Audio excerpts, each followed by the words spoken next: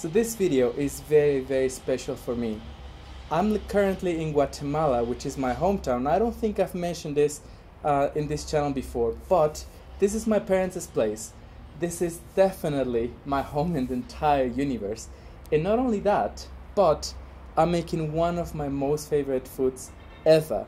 And I know I say that quite a lot, but I really mean it. This is ceviche, which is a seafood plate surrounded with tomatoes, gorgeous limes, mint. All of these flavors are going to be complementing the shrimp for a very refreshing, colorful, and full of flavored dish. So, let's get into it.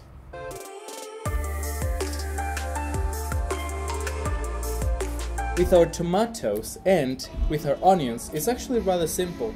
All we have to do is cut both of them into very small cubes.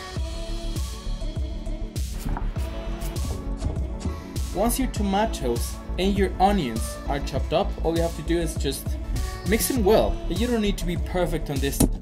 By all means, just be rough. You can just come here and do something like so. Alright, so our tomatoes are ready, our onions are ready. Let's go to our herbs. We're going to be using mint and if you buy something like this, it's quite simple actually. All you have to do is just put it on your chopping table and you're just going to end up with the leaves because you don't want to use the stem. In theory you could, but it's going to be very very chewy and it's, it's not going to help with the texture. I'm also using coriander so once we've got our herbs together, it's just a simple of a very rough cut and it like that.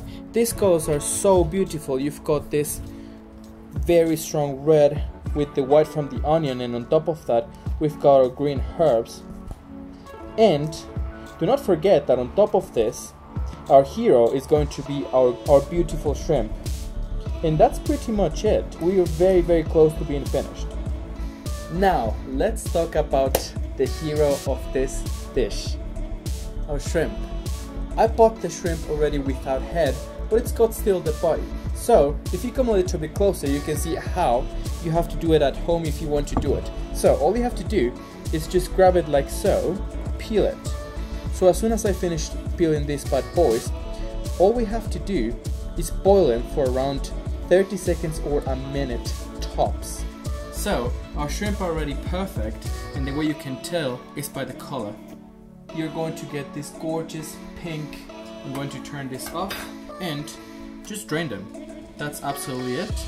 And just a quick tip, you can actually add a little bit of cold water because remember ceviche is cold.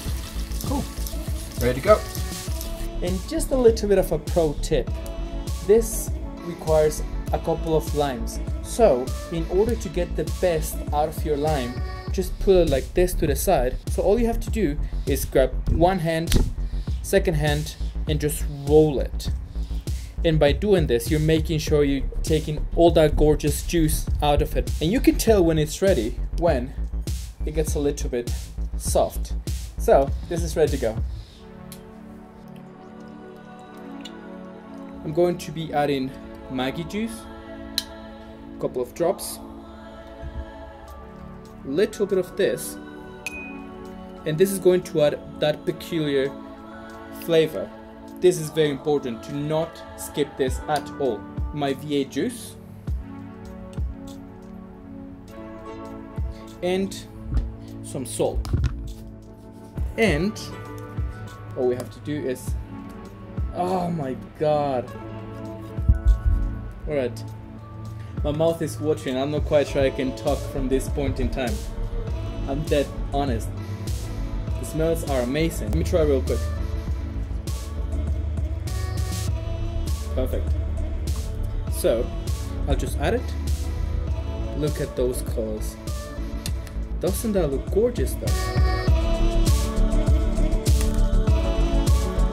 Alright you guys, so like I mentioned earlier, my mouth was indeed watering, so I was not able to record the outro, but I really strongly advise you to make this one. Trust me, you're going to love it, and if you do, do not forget to click that like button, subscribe ASAP, and I'll catch you in the next one.